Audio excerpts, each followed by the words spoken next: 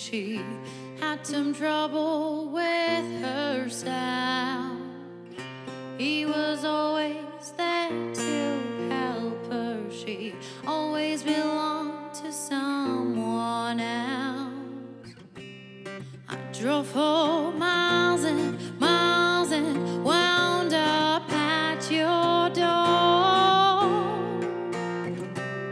I've had you so many many times by